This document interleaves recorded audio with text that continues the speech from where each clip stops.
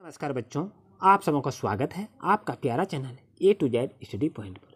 मैं प्रदीप सर, आज हम क्लास लेके आए हुए हैं कि विद्युत धारा का रासायनिक प्रभाव टॉपिक से को हम क्वेश्चन आंसर को देखेंगे। आपके परीक्षा में किस तरह से क्वेश्चन को पूछा जाएगा? तो आइए कुछ देखते हैं क्या है कि चालक किसे कहते हैं, ये भी आपसे क्वेश्चन पूछा जा सकता है। कुछ चालक किसे कहते हैं, ये भी क्वेश्चन पूछा जा सकता है। और ये देख रहे हैं बिजली मिस्त्री जो काम कर रहे हैं तो इस पर भी क्वेश्चन बना सकता है। बिजली मिस्त्री हाथ में रबड़ का दस्ताना पहनकर काम करते हैं। क्यों?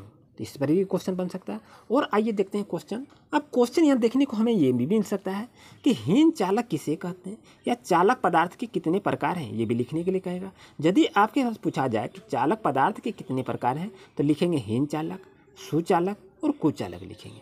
और यदि आपसे पूछा जाए कि हीन चालक किसे कहते हैं, सुचालक किसे कहते हैं या कुचालक किसे कहते हैं तो इसके बारे में आइए क्लास में देखते हैं कि क्वेश्चन आंसर किस तरह से बनाएँगे। वीडियो को अंत तक देखिएगा।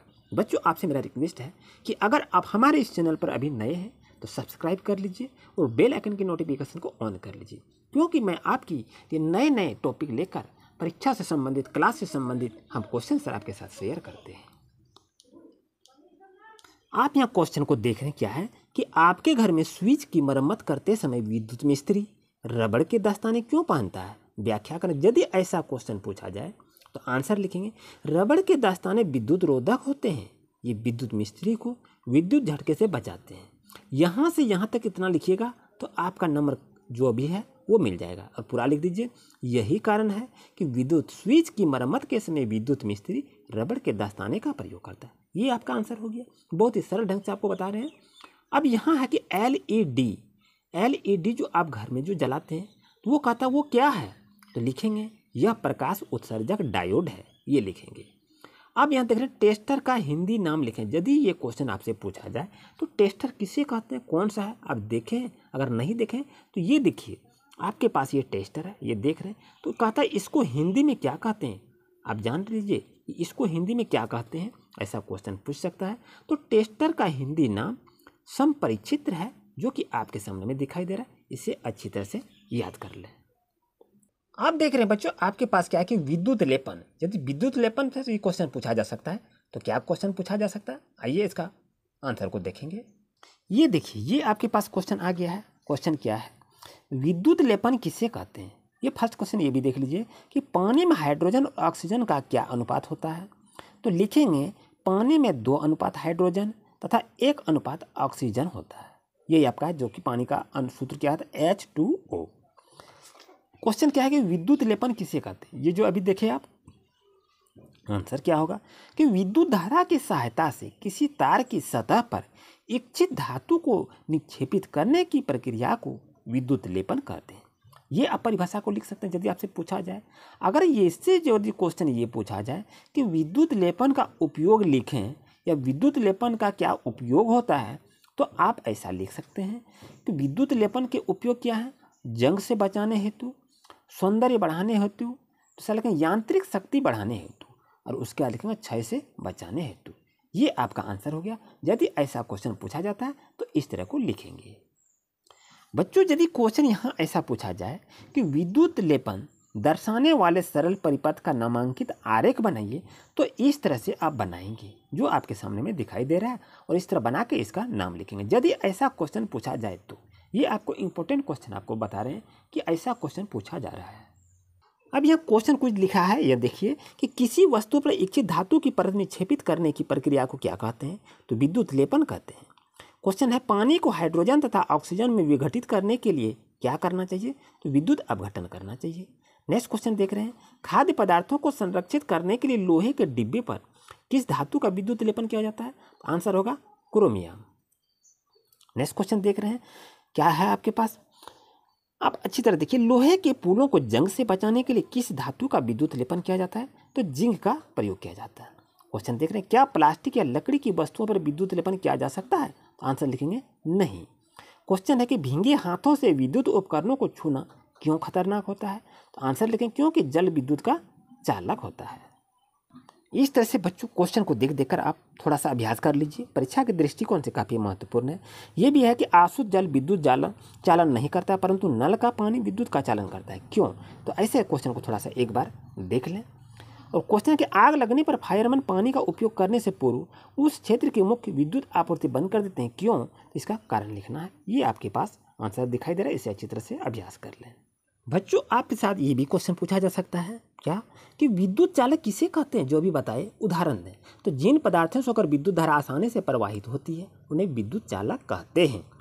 उदाहरण ग्रेफाइट तांबा, लोहा एल्युमिनियम नेक्स्ट क्वेश्चन देख रहे हैं, विद्युत रोधी किन्हें कहते हैं? उदाहरण दें। तो लिखेंगे, जिन पदार्थों से होकर विद्युत धारा प्रवाहित नहीं होती है, उसे विद्युत रोधी कहते हैं। उदाहरण आपका, अब्रक, रबड़, प्लास्टिक, कांच, लकड़ी इत्यादि।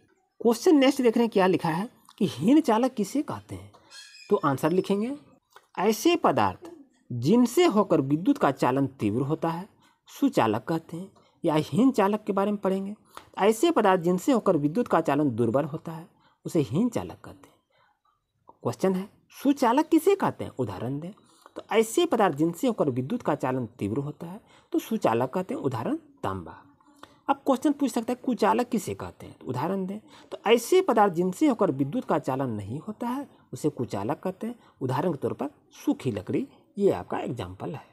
क्वेश्चन अब देख रहे हैं बच्चों, आपके पास क्या है? कि दो द्रवों का नाम बताइए, जो विद्युत का चालन नहीं करते हैं। तो आंसर लिखेंगे आशुद्ध जल, वनस्पति तेल। नेक्स्ट क्वेश्चन है कि आशुद्ध जल विद्युत का चालन क्यों नहीं करता है?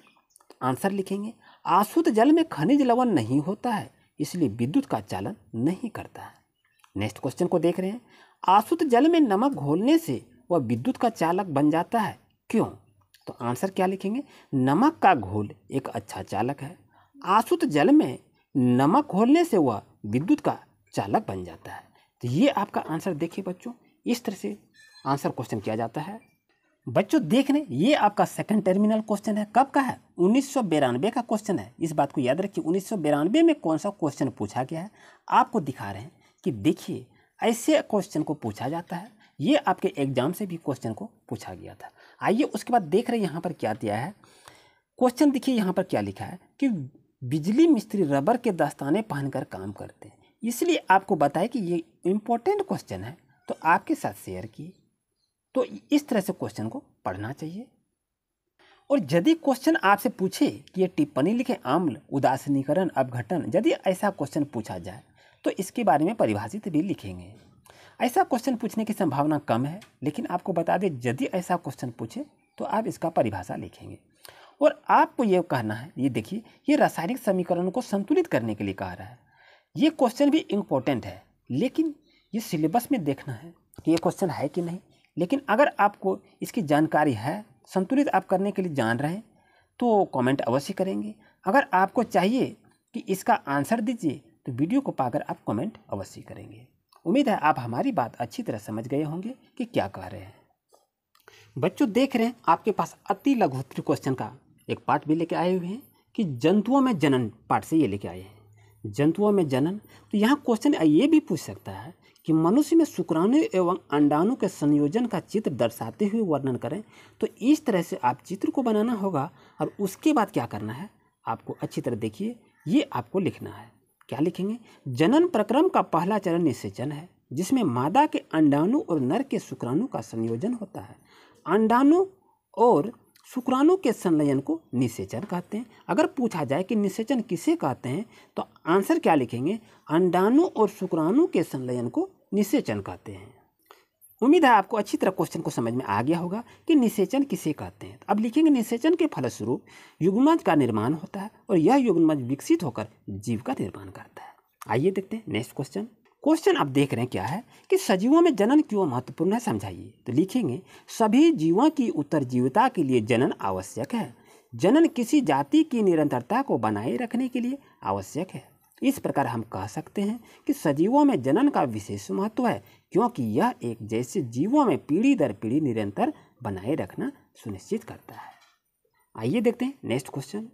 देख रहे क्वेश्चन ये भी पूछ सके अलैंगिक जनन क्या है? तो लिखेंगे, वह जनन जिसमें अकेला जीव ही अपनी संतति पैदा करता है, इस प्रक्रिया में नर तथा मादा युग्मकों का निर्माण नहीं होता है।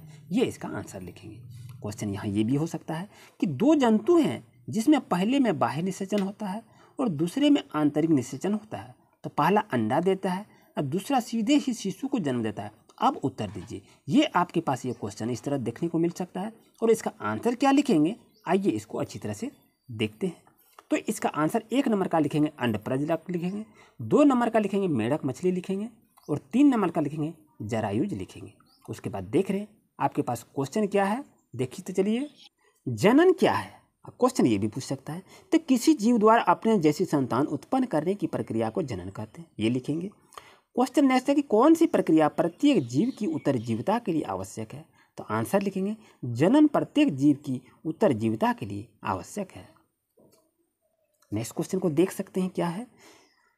जनन क्यों महत्वपूर्ण है? तो जीवों में जनन का विशेष महत्व है। योगी, क्योंकि यह एक ऐसे जीवों में पीढ़ी दर पीढ़ी निरंतरा बनाए रखने सुनिश्चित करता है।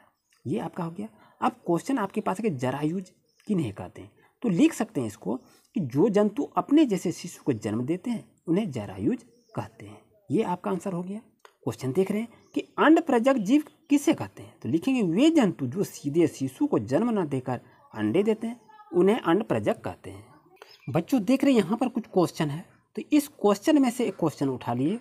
कौन सा क्वेश्चन कि जीवाश्म ईंधन क्या है? और उसके बाद देख रहे हैं, एक क्वेश्चन यहाँ भी ये है। दहन किसे कहते हैं? और अच्छे ईंधन की क्या विशेषता है? तो आप देख रहे हैं, ये अच्छे ईंधन की क्या विशेषता है और दहन किसे कहते हैं? इसके बारे में आइए क्वेश्चन आंसर को थोड़ा देख लेते हैं।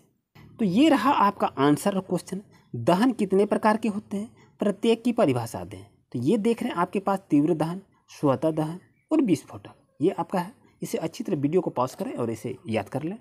और ये क्वेश्चन देख रहे हैं कि आदर्श ईंधन की कोई चार विशेषताएँ लिखिए तो लिखेंगे, सस्ता होना चाहिए सुगमता से उपलब्ध होना चाहिए और उच्च उसमें मान होना चाहिए। दहन के उपरांत कोई विषैली गैस नहीं निकलनी चाहिए। तो ये आदर्श ईंधन के चार महत्वपूर्ण विशेषताएँ हैं। उम्मीद है आज का क्लास आपके लिए काफ़ी यूजफुल रहा होगा। अगर आप हमारे चैनल पर नए हैं तो सब्सक्राइब कर लीजिए और दोस्तों को वीडियो को शेयर कीजिए ताकि वो भी बच्चे अच्छी तरह से एग्ज़ाम की तैयारी कर सकें। अगर किसी तरह की कोई दिक्कत हो तो आप कमेंट अवश्य करें। मैं आपका कमेंट का इंतज़ार करूँगा। मिलते हैं नेक्स्ट वीडियो में। Thank you for watching my video